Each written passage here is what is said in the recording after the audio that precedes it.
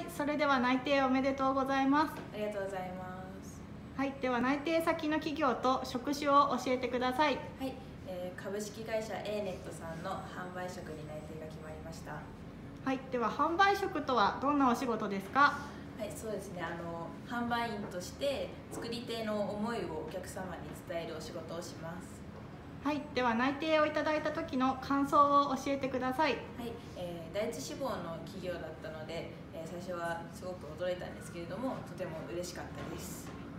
では就職活動で頑張ったことは何ですか？はい、えー企業研究としてあの新潟に直営店の店舗がなかったりするので東京まで足を運んできあの企業研究のためにショップを回ったり、えーしてそこがちょっと大変だったなと思います。では学校の授業で就職活動に生かせたこと、アピールできたことは何ですか？えーファッションショーでリーダーをしたのでそことあと販売員なのでパーソナルカラーの授業が、えーとてもアピールポイントになりました。はい、では内定の喜びを誰に伝えたいですか？えーお世話になあ就活でお世話になった人たちに伝えたいです。はい、では最後に今後の目標を教えてください。